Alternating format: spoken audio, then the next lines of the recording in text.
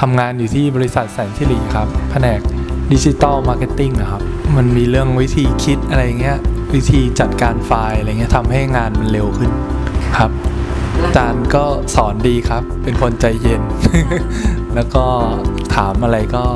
อธิบายละเอียดครับ คือเป็นคนที่แบบใส่ใจนักเรียนทุกคนเลยอะไรเงี้ยอืมคือไม่ได้สอนตามแบบหลักสูตรอย่างเดียว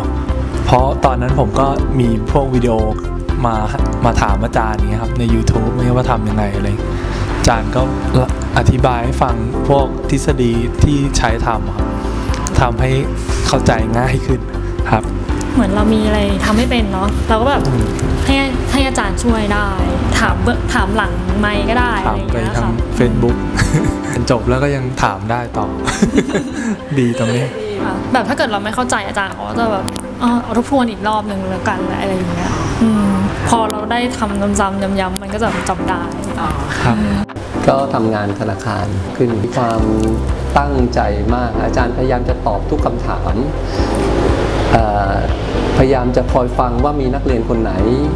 ที่ติดปัญหาอะไรอาจารย์จะเข้าไปหาทันที เราทำให้รู้สึกว่าอาจารย์จะมีความทุ่มเทแล้วก็อาจารย์จะไม่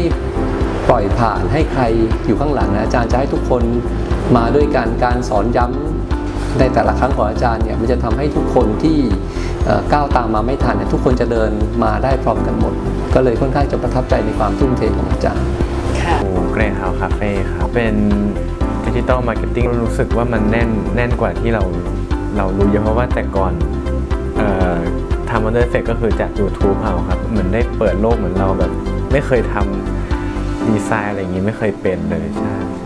ชอบครับ คืออาจารย์เขาใจดีครับ พร้อมพร้อมให้ตลอดแบบไม่กักครับ เป็นหมอที่โรงพยาบาลรามาธิบดีครับบางทีเราจะต้องสื่อสารกับคนทั้งในองค์กรเองแล้วก็ทั้งกับคนไข้ที่เราดูแลครับคิดว่ามันจะมีส่วนทำให้คนไข้ไม่เข้าใจ เรื่องราวที่มันค่อนข้างซับซ้อนได้ง่ายขึ้นเนี่ยก็คือพอมามาเรียนสามทีนี้คือ ก็คือทำงานได้ออกมาเป็นชิ้นๆได้ทำงานได้จริง ๆ เราทำคอนเทนต์ด้วย แล้วก็ทำขายของออนไลน์ด้วยผ่านทาง Facebook อะไรเงี้ยก็ได้มากกว่าที่คิดเยอะเลยนะถือว่าเป็นหลักสูตรที่ดีนะครับ มันมัน alert ดีเพราะว่าเราไม่เคยทำเป็นไงพอมันทำออกมาได้เฮ้ยเราก็ทำได้ว่ะอะไรอย่างเงี้ยครับ ดีครับสอนสอนได้ดี สอนได้ดีมากครับสอนได้ดีมากแล้วก็ใจเย็น active ดีชอบชอบครับร้านก็กันเองค่ะ professional แล้วก็เหมือนมีคำถามที่ไม่ได้เกี่ยวกับเนื้อหามาถามอย่างเมื่อกี้อาจารย์ก็สอน ใจสอนทุกเรื่อง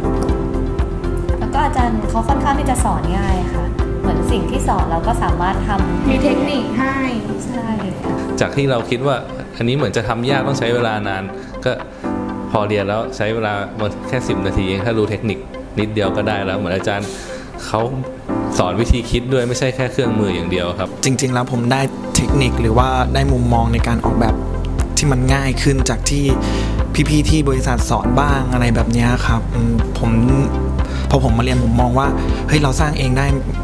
มันง่ายกว่าเยอะเลยอะไรแบบนี้ก็อาจารย์ใจเย็นมากครับ แล้วก็เป็นคนแบบใส่ใจดูรู้เลยว่าเออมีความใส่ใจรอคนคนที่ไม่ทันคอยตอบคำถามอะไรเงี้ยครับเป็นคนใจเย็นแล้วก็มีสปิริตความเป็นอาจารย์ค่อนข้างสูงมาก ซึ่งอันนี้แหละเป็นเป็นความประทับใจครับ เรื่องฟอนต์มั้งค่ะ เพราะว่าเหมือนแบบว่าแต่แต่ก่อนไม่เคยคิดเรื่องแบบว่าพวกเคอร์นิ่งพวก reading อะไรพวกเนี้ยคือไม่เคยสนใจเรื่องพวกนี้เลย แต่ว่ารู้สึกว่ามันสำคัญมากๆ ในการที่แบบว่างานมันจะออกมาแบบไหนก็คือขึ้นอยู่กับฟอนต์อย่างเงี้ยค่ะการมาเรียนก็จะรู้เทคนิคทางด้านการออกแบบเพิ่มขึ้น เยอะค่อนข้างเยอะ เพราะเวลาที่เราซื้อหนังสือมาอ่าน หนังสือมันจะเป็นแค่วิธีการใช้ทูแต่ละตัวแค่นั้นเอง แต่เราจะไม่รู้ว่า เราควรเริ่มการออกแบบจะเริ่มจากตรงไหน ออกแบบยังไงให้สวยเลยเพราะเรียนวิศวะก็จะไม่รู้เรื่องพวกนี้เลย ไม่รู้ว่าสีควรจะใช้สีอะไรอะไรเป็นสี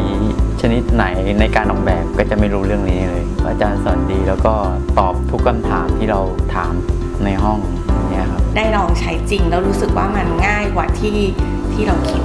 เราลองจาก YouTube มาแล้ว ซึ่งรู้สึกว่ามันใช้เวลา แล้วก็ไม่ได้งานจริง อยากให้มาลองเรียนจริง แล้วก็ได้ทำลงมือทำจริงสามารถเอาความรู้ทั้งหมดในคลาสเนี้ยไปใช้งานได้จริงเลย